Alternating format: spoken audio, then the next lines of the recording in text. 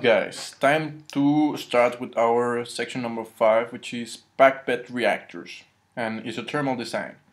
And here I love it because we're going to see how to account for the pressure drop which normal operation of these packed bed reactors have.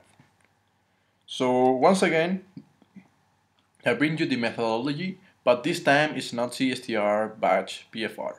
I have it for the PBR and semi-continuous. First things first, we start with the problem. You go, as usual, with your design equation, chapter 1. Then you get your design equ uh, equation here in chapter 2 as a function of conversion. What we're going to see here is that we don't need a design equation on conversion, but we need it, we need it as a flow of A or concentration of A. So forget that. We're going to use flow rates and concentrations this is still the case, we need to determine the rate law as a function of concentration because this is very common.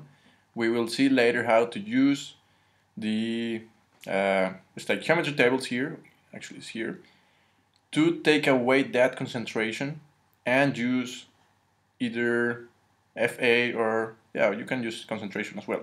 But the normal thing to use is the flow of A. Once again, no conversion, guys. And probably you remember that I used to take away this part here and I told you that we don't need it.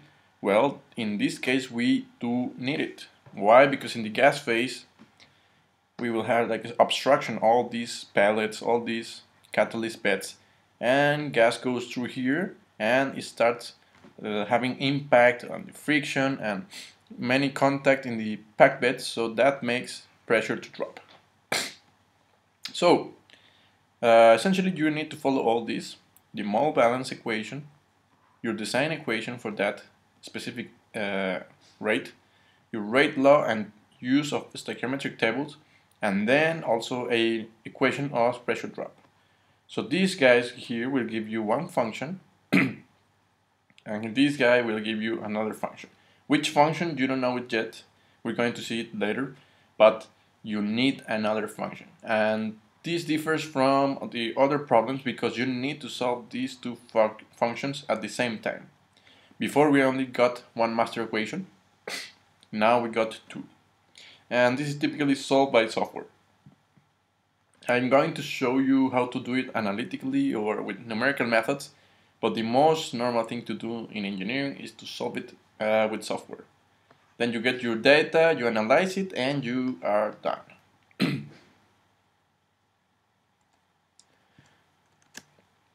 You don't re remember what was the PBR, let's revisit it. It's a typical gas-solid phase reaction, so it's not only a gas, you have also a catalyst, or a catalyst bed, and it's fixed, it doesn't move. Uh, the packed bed that I'm talking about is actually the catalyst that is fixed in the bed.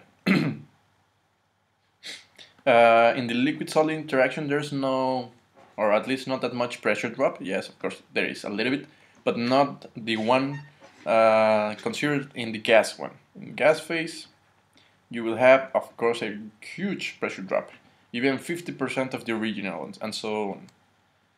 And I wanted to show you this. Mm. the higher the velocity, the higher the drop in pressure. Why? Because you are super fast. What happens when you get to one pellet? Well, you're going to absorb or to shock, to have a contact with that, and that is when you lose your, let's say, force. And you know, force in area, it's pressure, so there's your pressure drop. One other thing I want to show you is that our catalyst or our bed is packed. What does that mean? That it doesn't move, it's, it's fixed. Because then you get the in inflow, there's this is fluidization. When you start doing this you get your air or whatever is going here and everything is fluidized.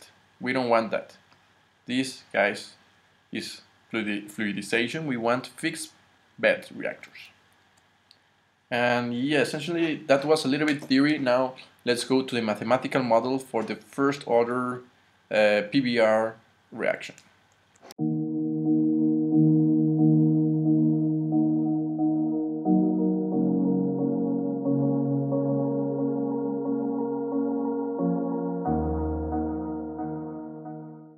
What's up guys? It's me, Chemical Engineering Guy. So if you like the video, why not push the like button? It really helps me to know if you're liking the videos or if I should be changing something or I should be adding something, taking out content, whatever. Also, sharing is caring. So if you got any kind of friends, teachers, colleagues or whatever kind of person that might be interested in this type of content, why not share it?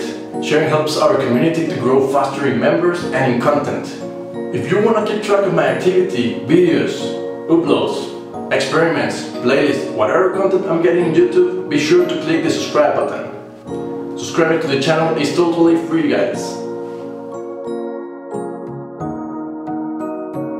My dream is to create an online academy of chemical engineering where everyone can access it in the world. Imagine a place in which the student, the teacher and the engineer get the best of each other.